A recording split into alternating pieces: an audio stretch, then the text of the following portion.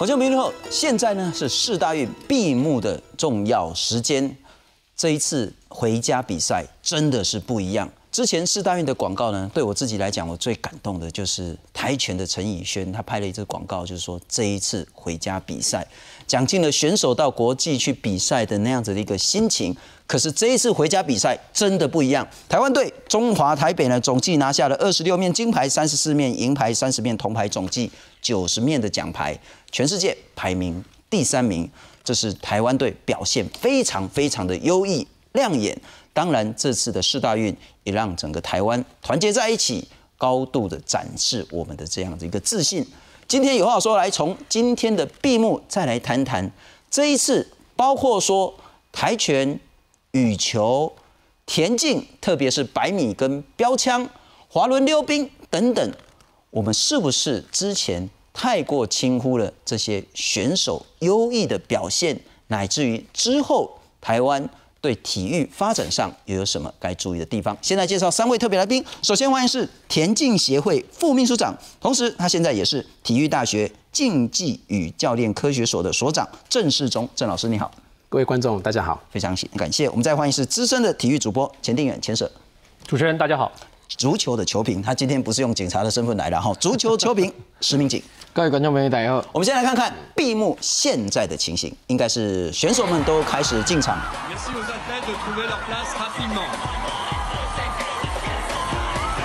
这个是在台北田径场现在的实况的情形，各国的选手开始进场。那当然也接受现场民众的这些致敬欢呼。那特别是这一次中华台北队，就是台湾队呢的表现，真是让所有台湾民众呢，这个不只叫刮目相看哈，真的是无比的崇敬的心情。我们再回到现在的情形，我先请教一下前舍哈，这次的表现太让人家振奋了。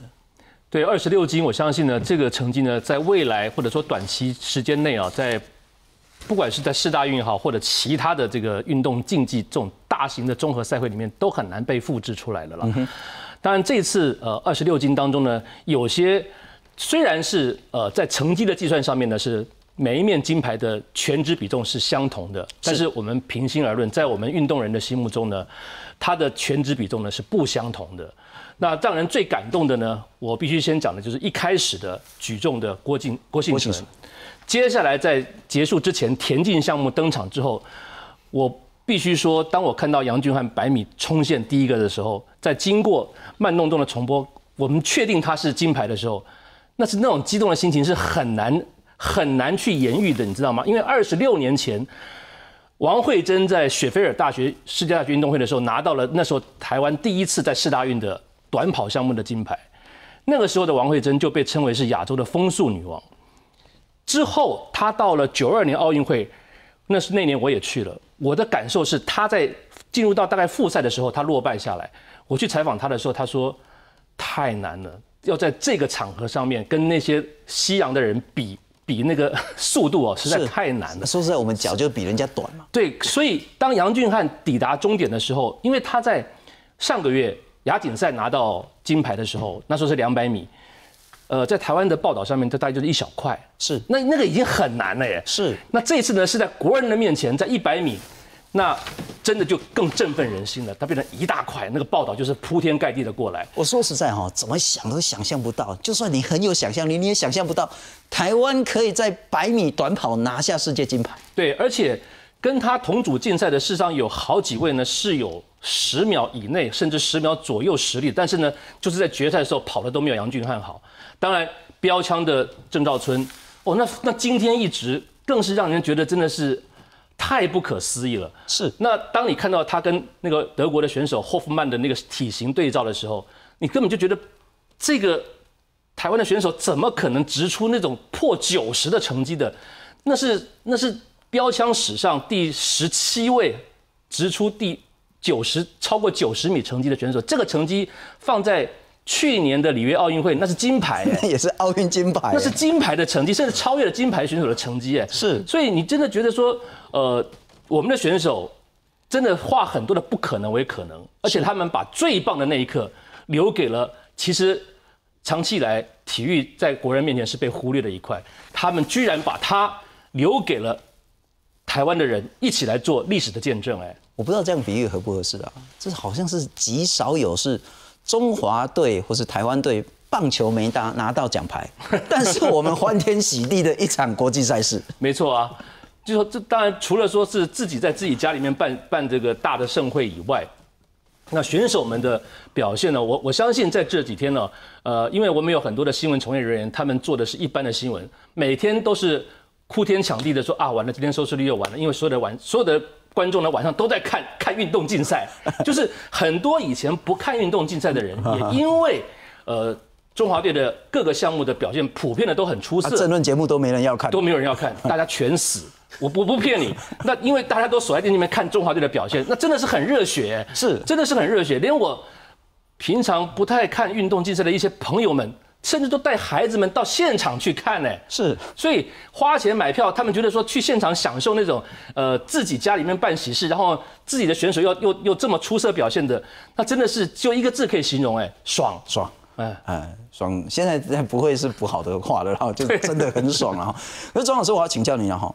以前或许至少对少数的人来讲，大概只关心棒球，嗯，啊，顶多再加个篮球，嗯，所以如果棒球输了，篮球输了，篮球比较常输了哈，那棒球输了就是心情就会不太好。可是呢，会不会是真的我们太有眼不识泰山？明明在田径、在滑轮溜冰、在各种单项的比赛项目上，我们的选手其实已经是国际顶尖的，但是大家啊，哎呀，我我给个垮。还是说真的回家比赛真的不一样？田径部分为什么这次表现这么这么的优异？嗯，我想国人一定要有一个，一定要知道，我们所有项目的选手，所有的好的成绩，它背后一定是来自一个长期的耕耘，没有一面奖牌是突然出现的，嗯，它的背后都经过好几年的磨练，这背后的团队不只是选手。还有教练本身，还有包括他背后的物理治疗师，是运科团队，是单项协会，体育署、国训中心。说实在的，这每一个角色都不能缺乏。嗯哼。那这一次在我们的主场优势，很多人讲说主场优势，所以很多呃干扰都没有了。好，那其实我就觉得这样对选手真的很不公平，因为选手他有这个实力，他才有办法在我们的主场。里面去发挥，那我必须要讲啊，这一次说实在的，满场的观众真的是郑兆春，他能够从原本八十几公尺的实力，然后突然飙出九十一点三六公尺的这个成绩，这真的要感谢全国的观众们，是。因为如果没有现场那一种气氛，他任何一个选手都没有办法突然。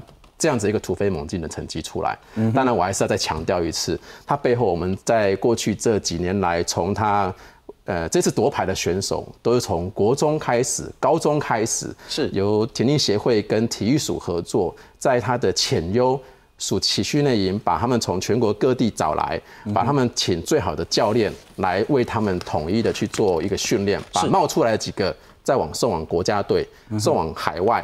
甚至聘请国外的教练，像这一次我们特别聘请瑞典教练来，就在他的体操这部分的实力去把它强化，所以黄世峰跟郑兆春他们才能够在这么短的时间之内，他的成绩整个蹦上来。所以其实我坦白讲，国家真的给我们很多的资源，只是外外界他不晓得，原来我们的纳税钱。真的有被用在这些地方。我今天这这一次，其实网络上有很多人在酸啊哈。你看嘛，我们回家比赛，所以协会有人用那个鞋，有人用另外一个鞋了哈。协会就没有从中作梗的空间了。这一次我们先不谈这个了哈，但是这一次四大运选训也是各单项协会去做的。基本上应该说是单项协会把所有的成绩列出来，按照排名列出来。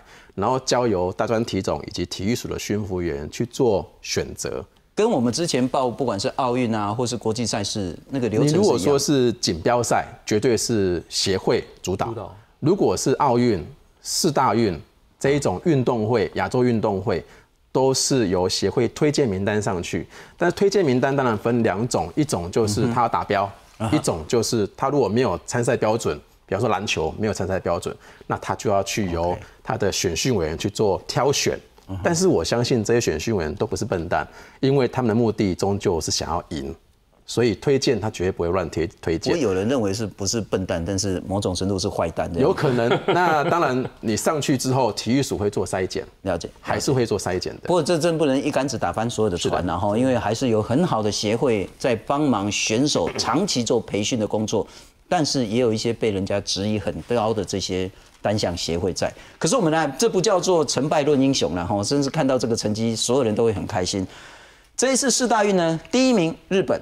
在金牌数跟总奖牌数都是第一名，但是呢，如果光论金牌的话呢，中华台北台湾队哈二十六面金牌排名第三，在所有参赛国家中，那总奖牌数呢拿到九十面奖牌也是排名第三，嗯，只是这个第二名呢总奖牌数呢是俄罗斯，哦，那那个金牌呢？韩国是拿到第二名，三十面金牌。说实在了，这个奖牌数是非常非常亮眼。我们再来看看这一次台湾队为什么表现这么的优异。进场重心，别连，嗨挺举破世界纪录，郭先纯激动和教练林敬能拥抱，举枪助跑，最后一颗奋力直出，标枪在天空画出一道完美的弧线，直接冲破亚洲纪录。举重和标枪两面金牌，一个破世界纪录，另一个成为亚洲之最。选手们一致认为，回家比赛真的好温暖。因为我们不用去特别的去调整时差，也不用去调调别呃调整饮食，然后我们不管不管在哪里，都会有最亲切的语言告诉你说加油。地主观众热情加油，发挥主场优势，帮助中华队缴出亮眼表现。二十六金、三十四银、三十铜，总计九十面奖牌，总排名位居第三。比起上届光州市大运的六金、十二银、十九铜多出许多，也让国际大学运动总会 FISU 赞叹中华队进步很多。尤其自选项目奏效，中华队的二十六面金牌里头，滑轮溜冰就勇夺十面金牌。而在竞技体操鞍马夺金的李志凯，甩开以往训练时完美，比赛时就失常的阴霾，在家乡完美落地。这只是个开始，未来还是。有更多的比赛，有多更多更重要的事情要做。田径场上也有突破性进步，除了郑兆春在标枪破亚洲纪录，杨俊翰也在一百公尺项目拿下台湾在世大运史上第一面男子短跑金牌。想到说要感谢谁，或者是第一个想到谁，其实太多画面了，就像一个就像跑十秒一样，就是每个画面就他他他他他，只有谁谁谁在什么关键的时候跟我说什么话，是或者是我在很艰难的时候谁。帮助我或者鼓励我，其实太多了。我觉得这就是大家一起帮助我拿到的金牌。中华队夺下二十六金，但下届二零一九世大运由拿坡里接棒。意大利体育总会将把帆船、射击和英式橄榄球纳入赛事，而这些都不是台湾的强项。二十六金创下纪录，也立下了一道新障碍。记者综合报道。哦，民进大哥之前，您当然对足球非常关心了哈啊，之前那个羽球的事情，你也来我们这节目谈过。你怎么样看这一次世大运的成绩？呃，其实我们还是要很老实的讲啦，世大运跟真正的亚奥运之间，它的实力还是有点差距，因为它毕竟限制在大学生里面，所以它的水准会比较参差不齐。但是有些项目，比如说像刚才我们提到举重或者像田径，它是一个数字的东西，客观标准。好，客观标准，好，我只要跑到几秒，或者是我举重举到几公斤，那我在世界上它的竞争能力是怎么样？它立刻就出来。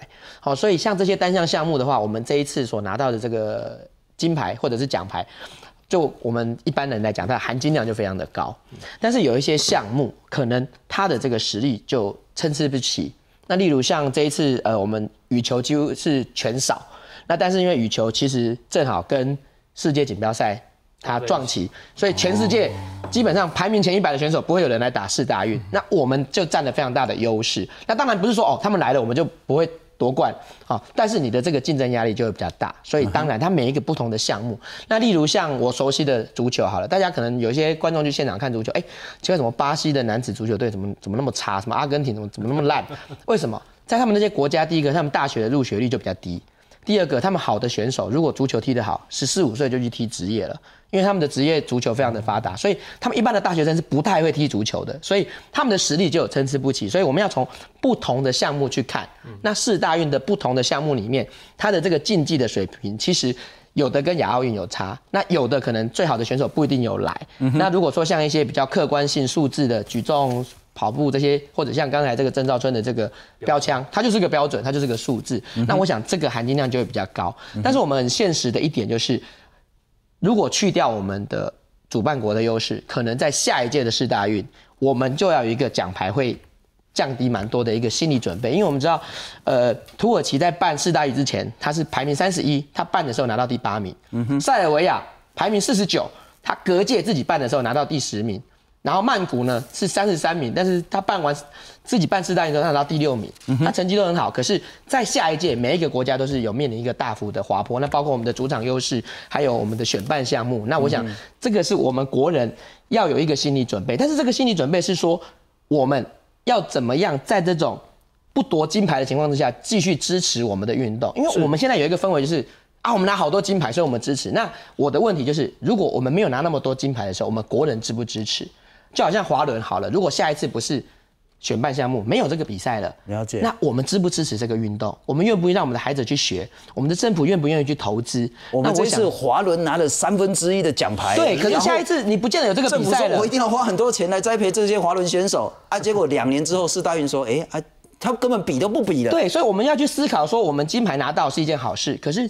金牌的背后，我们要灌输的一个价值是，我们要追求运动员的卓越，不见得每一件事情都一定要拿到。高兴是一时的，对，政策是永远的。就好像我们这次篮球、排球，可能哎没有拿到金牌，可是我们的表现支持啊，观众都觉得哦，我们这次篮球跟排球的表现非常好，很热血，每个人都喜欢看。可是他们没有金牌，所以我们应该拿到金牌很高兴。可是我们在讨论的时候忽略掉金牌这件事情，我们将来要怎么样维持下去？是，不过除了体育的表现优异之外，这一次世大运说实在也很成功的把所有国人的眼光聚集在这个国际赛事，嗯，进而大家把不管叫国族认同啦，或是民族主义啦，或是自己的爱国情操啦，或是本土的这种认同等等，不管你用什么样的字眼，总之四大运高度凝聚了台湾的共识。我们再来看看现在四大运闭幕式最新的情形是台湾的原住民歌手佳佳。正在唱歌，我们来看看。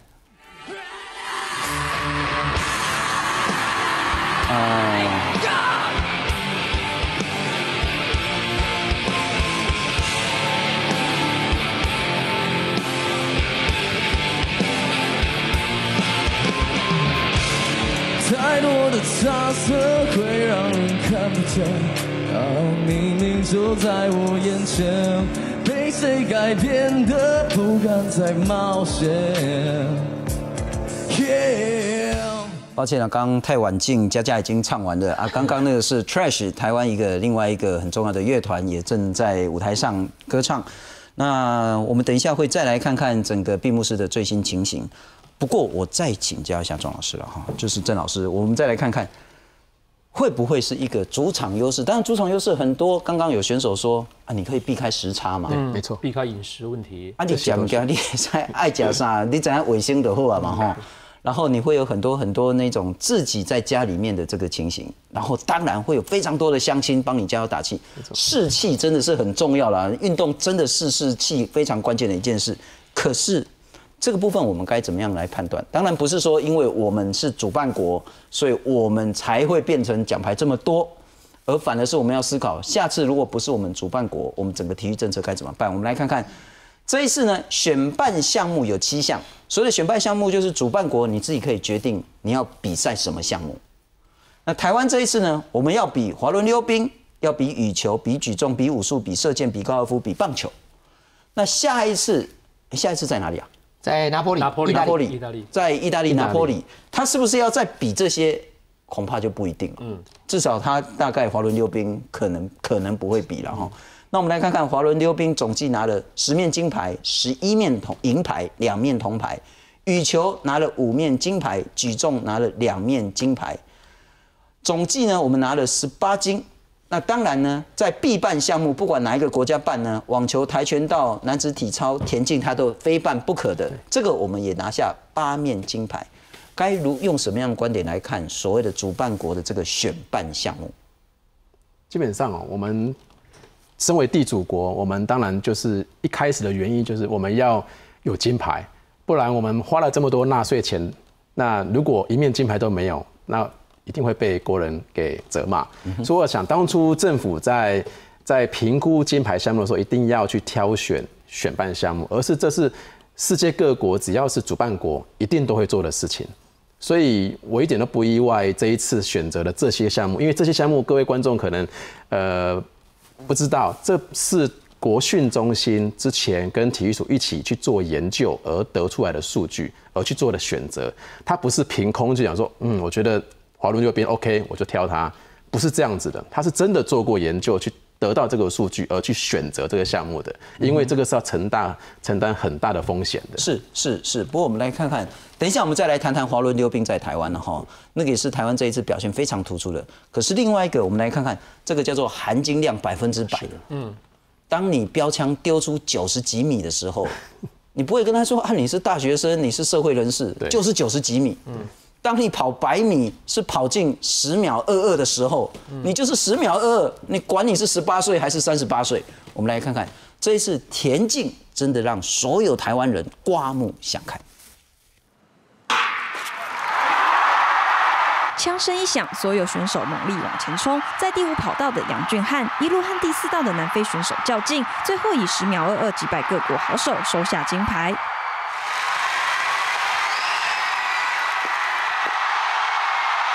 郑兆村这一个直射，冲出九十一米三六的成绩，不只为台湾摘下田径场上的第二金，更刷新亚洲纪录，登上世界历年第十二节。在这一次比赛以前的时候，我就告诉教练安德森教练说，我想要超过九十公尺，我想成为亚洲传奇。除了两金之外，男子一百一十公尺跨栏陈奎如和男子四百公尺跨栏陈杰抢赢，男子跳高蒋俊贤、男子标枪黄世峰、男子四百公尺接力以及女子团体半程马拉松得铜，八面总奖牌数超过前十五届的总和。而台湾过去唯一一面田径赛金牌，是一九九一年王慧珍女子两百公尺的杰作，二十六年后终于再由杨俊翰创造纪录。我觉得这就是大家。一起帮助我拿到的金牌。田径队在这次四大运打防疫彩，选手家人欣喜之余，还是担心国内选手出路，希望政府能多重视。台湾这种体育的不是很重视啊，我希望说政府能够说多体会，是说这个停赛这种。人员呢？台湾过去多关注棒球、篮球等运动项目，这次田径选手奋力跑出好成绩，不少民众才发现，原来国内田径不乏杰出人才。政府如果能借由这次机会增加挹注的资源，相信就会是选手最强的后盾。我其实你之前应该很少转播田径吧？我在呃当记者的时候，九二年奥运会的时候，我是跑田径，所以我才会去采访王慧珍。那当然后来。因为台湾的氛围呢是棒球最大，虽然它球很小，但是呢，所以就做棒球去了。这样为什么？是因为我们真的就是跑不赢人家，射不赢人家吗？呃，这个可能真的是有一段差距。包括了你的人的肌肉，包括你的身高，包括你的强度等等，我想这都是有有，因为我记得王王王王慧珍在九二年的时候，她这样讲的那句话，我真的到现在为止我都记得。她说真的，她连她隔壁那个选手的呼吸声，她都觉得她比他更具有震撼力，就是准备要起跑的那个那那个时候的感觉。我问他说你起跑的时候呢，他就说，哇，我听他的呼吸声，我都觉得他好可怕，那种就是。那选手选手之间才能够感受出来的，但是我觉得，既然我们的选手像郑兆春、像杨俊翰有这样的成绩了，而且是在田径这个项目当中，大家不要忘记了，二零二零年的东京奥运会就在亚洲，同样的，它会几乎没有时差。同样的，他也没有什么太多的食物上的问题。基本上在台湾一样有很多的人很近就可以飞到东京去帮我们的选手加油。是，所以对于这些已经留下成绩而且是客观标准成绩的选手，我觉得国家就要开始启动所谓的保护机制以及训练加重训练的机制。这次郑兆春他自己讲了，他的瑞典籍教练哪怕只是给了他一点点的突破，一点点的指导。包括了他在直标枪的脚步的调整，是就已经足以让他射破亚亚洲纪录了。那这样子的一个选手，你接下来要怎么样的去去去培训，继续的去维持他的成绩，甚至往前再突破？是科学的训练将会是一个未来你必须要去思考的问题。专业的教练的指导也是必须要加入这个团队的，然后会用到不少的经费，因为随着这些。你在跟时在跟成绩竞赛的过程当中，你就要开始启动到一个很很特别的一个机制出来。那这些机制呢，都会用到用到钱的。不谈到资源以及科学方式的培训，那刚好是郑老师你的专业了哈。不过我们来看看男子标枪郑兆春丢出九十一公尺三六。那如果在那个古希腊雅典的时候，那就是说你在百公尺丢个枪，你可以把对方的将领射死的那个概念嘛？三百战士里面有，三百战士，就斯巴达壮士，就是那个概念嘛哈。对对。其实那就为什么那时候要办这种奥运，其实主要都是为了战争啊哈。那现在其实还是那个荣耀荣耀神啊，不，总之那个不不关这一次的事情啊哈。九十一公尺三六。单亲家庭长大，父亲是清洁队员，高二进入国家队。那他之前说我要成为亚洲第一个投过九十的选手，果然达到了。那在这片土地上留下不可思议的成绩，成为标枪传奇。终于很高兴他办到了。另外一个呢，其实也让人家真的是跌破眼镜，刮目相看。杨俊汉阿美族百米呢跑出来十秒二二全国纪录。他说：“从小都是药罐子，为了强身才去运动。那爸爸是开砂石车的，夺金成为整个部落的大骄傲。”杨俊汉说：“他只是想证明台湾选手不会输给日本、中国，也希望有天可以继续跟全世界的对手来竞争。”那郑老师就要请教你了哈，已经跑出这个成绩了，是马上东京奥运要来了，中华民国该做什么？我再一次强调，我们的体育署对于田径协会啊，从来没有说过 “no” 这个字。因为我们每次都是写完整的计划，我们想要做什么，把经费非常明确的告诉体育署，所以他一直很愿意把经费投入给我们。所以郑兆春、杨俊汉在背后，他有医疗团队，他有外籍教练，他想要去哪里异地训练，我们都去找外国的经济团、经纪人团队，是来帮我们寻找最好的教练，而。杨俊汉，我们也曾经送他到美国去异地训练，哦，所以其实我们接下来要做的，包括他们两个人，因为过去都曾经有一些运动伤害，是，所以我们必须要个别的物理治疗师，我们需要他们去世界上最强、最顶尖的训练中心的异地训练，然后呢，我们也要去在运科人员在动作技术分析上面，我们也开始规划。要请体育署协助我们，让我们聘请这样的专家来去为他们去做更进一步的一个训练上的辅助。嗯哼，所以其实我们已经都想到那一步了。嗯哼，但就差成绩。坦白讲，纳税人的钱我们不能乱花，所以我们做什么事情都是有计划，慢慢的耕耘。只是这一次真有成绩的关系，我想应该全国国人应该会更高兴，让我们。投注更多的资源在他们两位身上，甚至所有的田径。这次世大运是他们两个表现最最最巅峰巅峰的时候。是的，他们两个登上了国际田径总会的官网，全世界都看到了台北。啊哈，这个是我们在田径上的表现极为优异了哈，所以要拔尖以及保护这个所谓的我们优异的选手。另外一点，戴资颖羽球，或许在我们在回顾之前，我们在谈羽协的一些问题的时候，那戴资颖这一次呢？当然不能说轻松拿，可是还是如预料当中的夺下金牌。而他说呢，为什么他不去参加锦标赛而留在世大运呢？很重要的原因就是为了台湾。我们来看看，脚步轻盈，杀球犀利，世界球后戴资颖毫无悬念闯进世大运女单决赛。短短二十二分钟，拍下世界排名二十三的南韩李章美拿下金牌，速度之快让球迷戏称根本当热身在打。但也有球迷说，以戴资颖的身手，不该放弃世锦赛，因为打世大运根本是浪费时间。但球后在世大运粉砖说出了真心告白。我这次选择四大运会放弃世锦赛的原因，是因为我觉得台湾很难得办一个大型运动赛会，我觉得我必须要留下来。我今天的目标不是只是要在台湾达到前一前，我是想要在国际上让台湾被世界看见。要让台湾被世界看见，戴资颖选择了世大运。而以小戴目前的实力，在世锦赛夺冠，拿下百万奖金、上万点积分，不是不可能。不过事实上，戴资颖目前积分领先世界第二许多，没去世锦赛影响不大，倒不如留在家乡，在家人和球迷面前出赛。在台湾比赛，我觉得非常好，因为会有很多人来看，而且会有很多人去。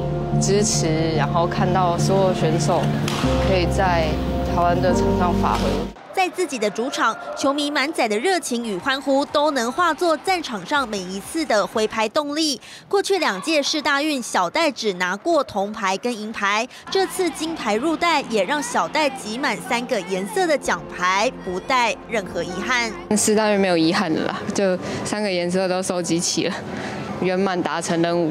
下班。记者综合报道。不过民警兄上呃想到戴戴志颖，我就想到上次我们在谈是。说那个啊，人家明明就大小脚，然后我们的雨鞋就强迫他一定要穿那个不合脚的鞋子，然后搞到人家磨破皮，然后强迫他一定要穿那个什么样的一个雨鞋决定的这种所谓的球衣啦，然后支撑就有很多很多问题，那些问题解决了吗？协会的问题哦，我想呃这一次当然在自己台湾主办会。减少很多的问题啦。乡民讲的当然不见得完全正确，但是确实，比如说，呃，大家批评田径协会，其实田径协会是最近这几年台湾评价非常好的协会。好，这里我要老实讲，但是因为上次撑杆跳杆子出包之后被乡民骂，可是我们也要知道说，因为它距离很远很复杂，所以出包的几率大。当然出包我们认错，可是因为它距离很远很复杂，所以出包的几率大。如果在台湾就。原则上不太会出包，所以你的这些装备啊，或者是呃你的这些适应环境，当然是绝对在台湾自己来主办是绝对是有利的。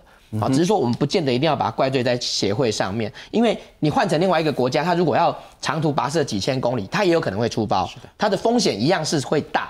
那当然我们今天主办，所以我们避免了这些风险，杆子没寄来，这个乌龙也太大了。我们避免了这些风险啊，所以也真的表现会不错。但是像戴志颖的这件事情，是我一开始的时候，我其实。不是很赞成他打世大运，因为如果说你对羽球有一点了解，就知道世锦赛这个东西是真正的冠军头衔。你世界排名第一再久都不叫做球后，也不叫叫做球王，只有赢得世锦赛的人才叫做 World Champion。就好像李宗伟，他是羽球史上世界排名第一最长的，可是他从来没有拿过世锦赛。他到现在三十三岁了，他还想办法一定要想办法拿到世锦赛，要不然他这一生没有拿到过世界冠军的遗憾。是那小戴呢？以他的现在的年龄二十三岁嘛。他大概还有五到六次争世锦赛的机会，他等于自己放弃了一次。那我想，其实这个牺牲非常的大，他心里一定是很挣扎。像周天成，他就选择了世锦赛，没有打世大运，这个就是个人的选择。但是对于这些选手来讲，这样的比赛撞击，对他们来说会有很多的，比如说人情压力啊，哦，你一定要为国争光啊，哦，其实他心里面一定是要。很多的取舍，只是最后戴志颖决定留下来。那周天泽决决定去打世锦赛，那两个人的选择，我觉得都没有错。但是如果以我的立场来讲，以职业生涯的立场，我是希望戴志颖去争夺世锦赛的冠军。当然，对啊。但是如果以我们台湾观众的立场来讲，哦，你帮我们夺个金牌很好，金牌留在家里对。但是如果以他个人的生涯考量，我们知道说这个东西很难得。你如果今年错过了，我不是每年状态都这么好，今年戴志颖是状态最好的一年。是。那我状态最好的时候，我反而不去打世锦赛。那第二个是。世锦赛不打，你来打四大运，你对于接下来九月开始的世这个羽球的这个系列大奖赛，你的调整会有问题。为什么？人家澳元希望人家马林在那边跟世界排名前十的选手打了一个月，你在这边打世大运，当然你的调整有差。所以虽然说这次积分没有被追上，可是。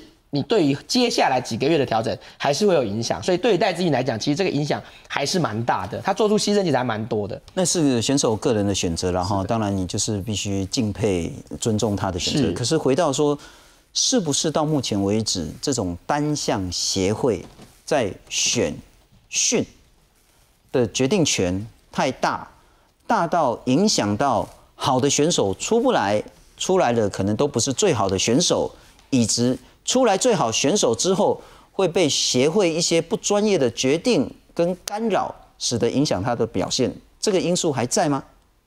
林景雄，我想，呃，其实，在台湾如果说有客观数字标准的，还是比较客观，但是有一些协会，它的问题是在于，它往往标准定的很高，那我的所有的选手都不在标准里面，那就是由我来决定。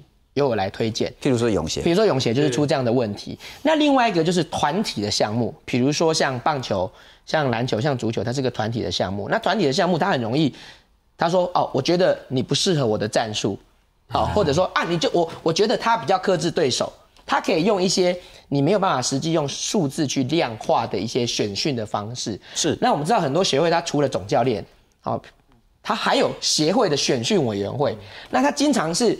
我如果比赛输了，我就说是总教练的问题。可是人却是选训委员选的，这在很多团体性的项目，其实会有这样的情形，会有这样的矛盾。你所有的战绩跟成败是要由总教练负责，可是人是你选给总教练的。那这群选训委员到底是谁？那他们的身份到底是什么？那他们到底需不需要为比赛的成绩来负责？那我想这个责任在上面，很多团体比赛的协会是在这方面没有厘清的。那这种是刚好你也是田径的选训委员。那田径这一次当然没有什么争议，然后特别我拿到两面这么好的奖牌，还有什么争议？可是我想问的是，譬如说丁妹，呃，这一次没办法参加四大运游泳项目的丁妹，她就讲得很清楚，你不要说什么跆拳品试啦，哈，或是篮球啦、排球那种团体赛，然后我要什么样的中锋，那是很主观的。游泳够客观吧？你五十米、一百米，你游多少就是多少嘛。那为什么？包括泳协或是其他的这些有争议的单项协会，他没有办法去挑明明是比赛成绩最好的人来代表中华民国比，反而是挑其次，甚至其次再其次。协会的问题真的是阻碍选手的最大因素吗？呃，我还是要说，基本基本上协会的人，他的组成有九成都是曾经是国内最优异的选手。所以他的专业性应该是不容置疑。可是也有那种理事长、秘书长，这个就是一辈子没打过球的，当然也是有他的其他的问题干扰，没有错。但正常的情况之下，比方说像田径协会在这几年来，我们就很注重我们自己有一个成绩资料库。我们每次要参加赛事的时候，我们就把资料库整个翻出来，来看看我们的名次的排名，目前谁的状况怎么样。然后我们会一一打电话去给他们，这场赛事你要不要去参加？那我现在讲的是邀请赛事。那今天如果是奥运、世锦赛、呃亚运会这种正式的锦标赛，那就没有话讲，一定是你只要达了标，只要那个名额数目没有超过主办国给我们的限制，我们是一律都让你去。那这一次也有人说，哎，为什么世锦赛？有几个达标的田径运动员，他们没有去参加伦敦世锦赛，那是因为他们自己选择要留在主场拼四大运。因为知道在体育的专业里面，大家都晓得，那个每个选手都有所谓的训练的巅峰期，有起起伏伏。他如果去了世锦赛，有可能就会成绩会掉下来，也不一定。但那那是一个风险，不是绝对。可是郑老师，民众会有一个问题，就是说，好，或许田径协会这几年表现很好。但是另外，譬如说泳协就被大家骂到臭头。那为什么选手的这个表选手应该是整个国家的资源嘛？怎么会国家的这么重大的资源都交给单项协会？用不好的名词叫垄断、把持；用好一点的名词就叫完全主导。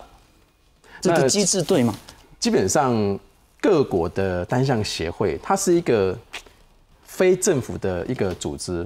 他基本上就是希望不要受到政府的干扰，但是呢，他的确有他的问题，有可能他在各国的这个选举的制度上，比方说我们的呃民那个人民团体法，我们在这个法里面，它的组织不是这么的严谨。所以也会造成有些人会去钻漏洞。就我们上次谈的三百个人决定全台湾单项运动该怎么做，有可能会这种情况出现。而且呢，永远都是那三百个人，那三百人从来不改选的世袭制。所以其实像国际田径总会，其实有给我们田径协会一个指导，就是说哪些的人他是适合被揽跨进来当会员。OK，比方说你曾经担任过国家队队员，你曾经呃夺牌过，你曾经在协会里面工作。是任满几年以上哦？你曾经给田径协会啊有多少的赞助的金额以上有功的这些人企业团体，他都是适合来进入到这个田田径，而不是说我今天在路上就抓一个就进来了。OK，那但是不是每个单项协会都遵守这个这样的原则？其实到目前为止，因为我们明天要谈国体法了哈，就是大家要改革。其实国体法最重要的目的就是要改革协会。到目前为止。单项协会，他当然可以负责谁可以去参加国际赛事的报名的权利，然后要培训什么样的选手，资源要花在什么地方，然后明明这个选手很优异，那或许他不是那么听话，或许他的资格就会剥夺掉。这一种协会把持住运动选手，甚至是由家族、由财团、由政治人物所垄断的情形，在台湾还很严重吗？基本上在几个大的团体的球类项目里面还是存在的，啊，那游泳当然是一个很特殊的例子，因为它理论上不应该出现这样的情况。像田径协会，他们都是有客观的数字标准的，所以这个东西呢，基本上在呃像游泳这个事件呢，在后来呃体育署要介入之后呢，大概我觉得这个事情应该就可以，应该就可以暂时的先被先被安安下来，然后呢，看未来的这个处理要怎么处理。那但是呢，在球类项目呢，就比较容易出现这样类似的情况，像篮球协会、像棒球协会这些所谓的大的大的协会，它事实上是会有这样的问题出现的。像您刚刚刚刚民警讲的，就是呃领领领兵作战的是总教练，但是呢。给他选手的呢是叫技术委员。嗯哼，呃，之前像我们打琼斯杯的时候，也曾经出现过类似的问题。总教练没有选择他要的球员的权利，而给他球员的呢，都是来自于所谓的技术委员。而这些技术委员呢，中年不看一场球赛，甚至呢，这些技术委员都已经年纪到了一个程度了。那很多的人就呼吁说，呃，在组织上面，协会是不是可以在结构上面做一些调整？让真正在参与这些事务的，好比说是各个职业队的总教练，他们每一年在打比赛，他们很清楚的知道哪些选手是好的，哪些选手是是适合什么样的呃比赛的。那让投票权把投票权交给目前活跃在这个项目上的的的教练们，让他们来决定，而不是那些已经留有盛名，但是呢已经深居简出的大佬们。再来投票，我觉得我们在体育界里面有时候需要做一些改革，就在改革这些地方了，让让真正了解的人来做这些事情，会比较适合的啦。是，不过除了我们明天会再谈体育改革了，特别是国体法的这个立法的部分。可是我们再来看看，除了说协会的问题之外，单项的表现会不会是我们也长期忽略？明明我们的选手是非常非常棒的，嗯，譬如说体操，对，譬如说滑轮溜冰，我们再来看看。这一次呢，包办了三分之一中华队的奖牌的滑轮溜冰，是不是大家之前呢完全忽略他们的表现？离终点现在约莫来到了三百公尺。是大运滑轮溜冰马拉松，各国选手拼劲十足，女子组最后突围冲出，现场屏息以待。最后，最后的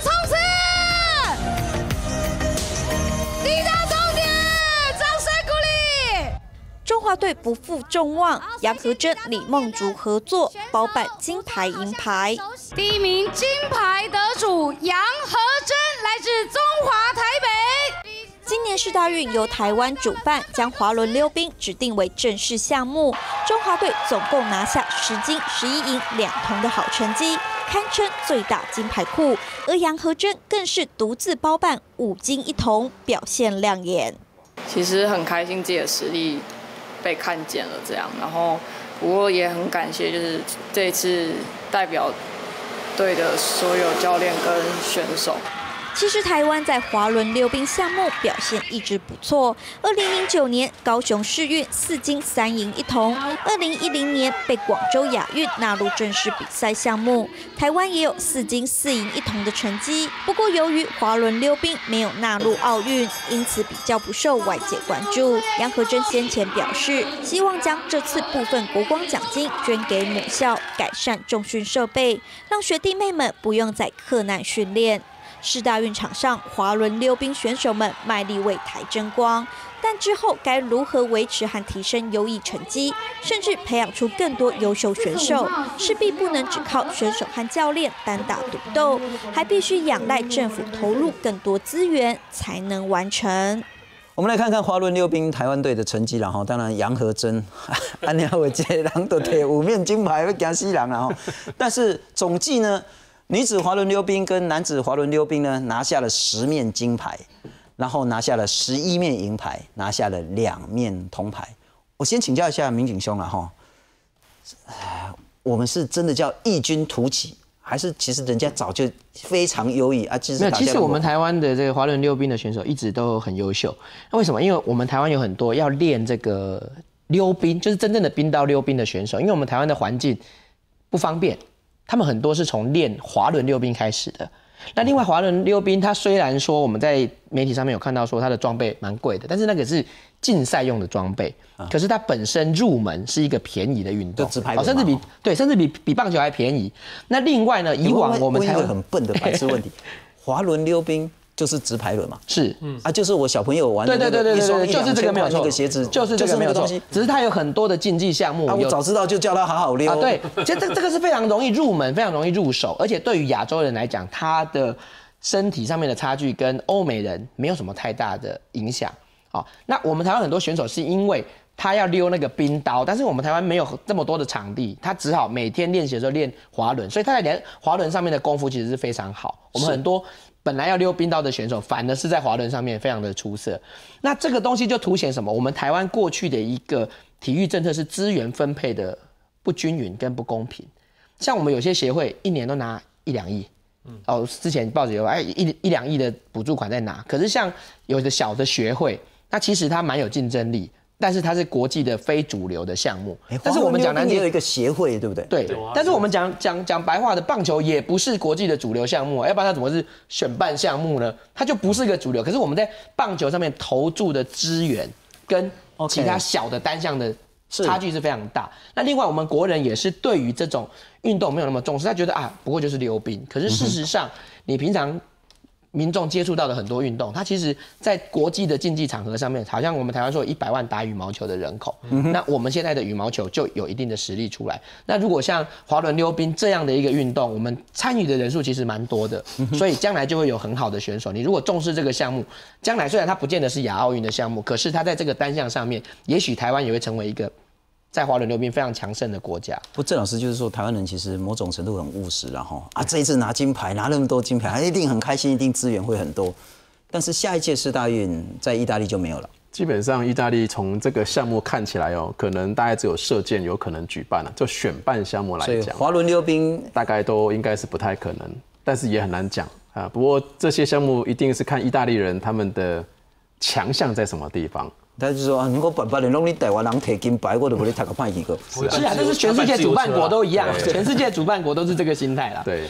那除了四大运，滑轮溜冰在国际上的赛事频率高吗？世界运动会，大家记得二零零九年高雄就高雄世运会，其实我们的滑轮溜冰也得了好多的奖牌，好多面的金牌。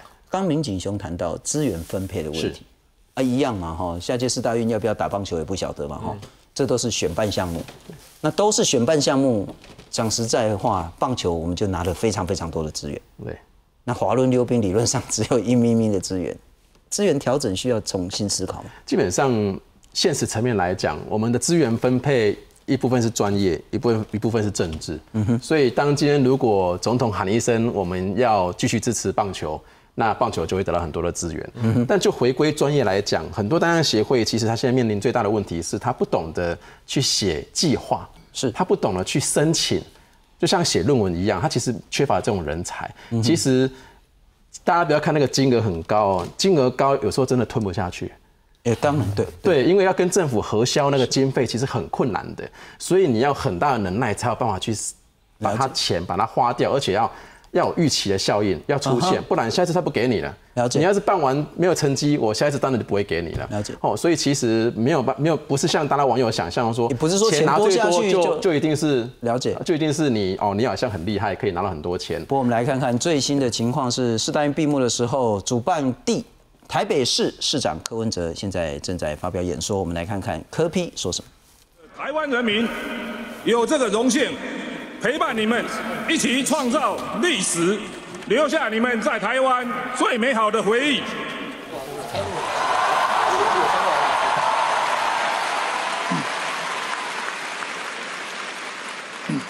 感谢国际大学运动总会的支持，让四大运在台北成功举办。感谢郝龙斌前市长成功申办四大运。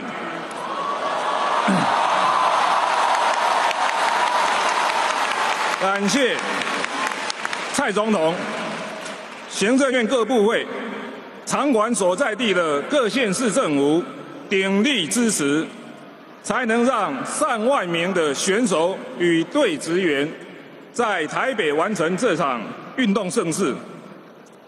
感谢四大运执行长苏立雄带领执行委员会的工作同仁。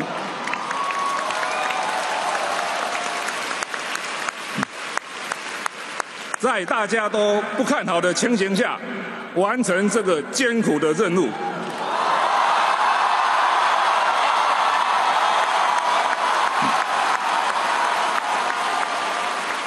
感谢纪政召集人带领顾问团提供专业的咨询，还有这六年来一起奉献心力的四虎同仁，感谢你们。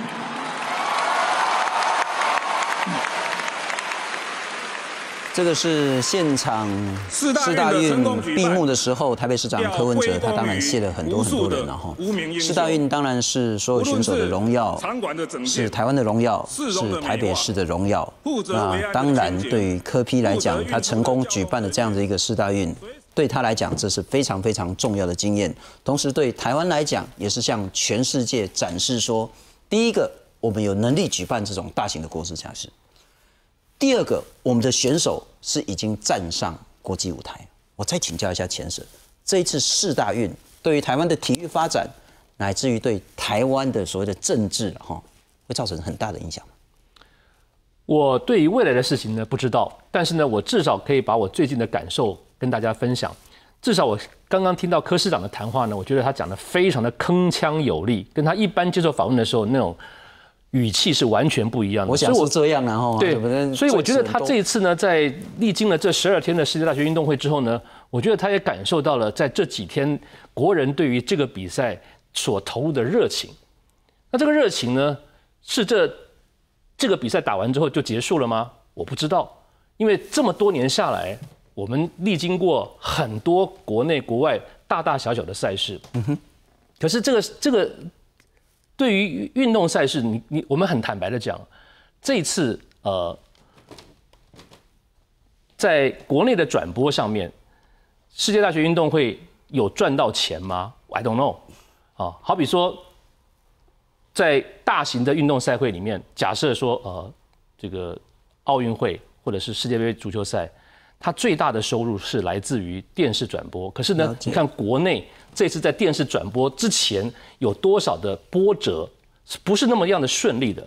在台湾的电子媒体里面有多少的公司，还有所谓的体育记者？我相信今天很多的人在看电视转播的时候，可能对播报的品质是不满意的。是的，在电子，然后在一般的媒体的报道上面是篇幅很小的。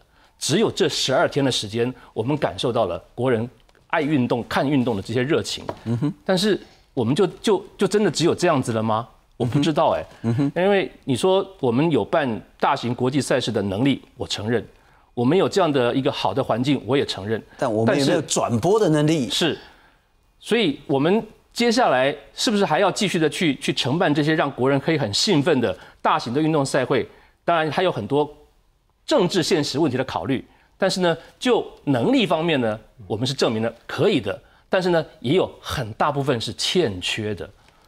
所以郑老师，你看到台湾在大型赛事举办转播最大的问题是，基本上我们像这一次的转播，呃，很多的体育记者都到前线去做报道，所以在电视台里面去转播的主播，其实很多都是临时被抓过来，包括我们在现场去当杨俊汉突然拿金牌。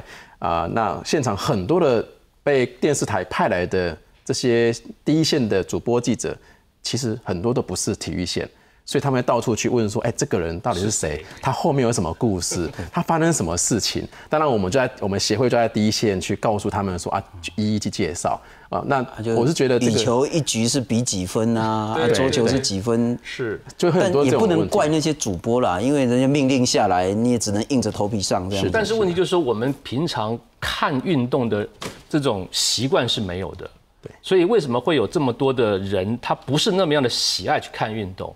在国外，你一个一个一个成熟的社会里面，呃，他看运动、看艺术表演、看戏剧表演，是他的生活中很不可或缺的一部分。是。可是，在台湾呢，好像百分之八十的人会看棒球，可是棒球之外呢，就很多的运动，很多人是连看都看不懂。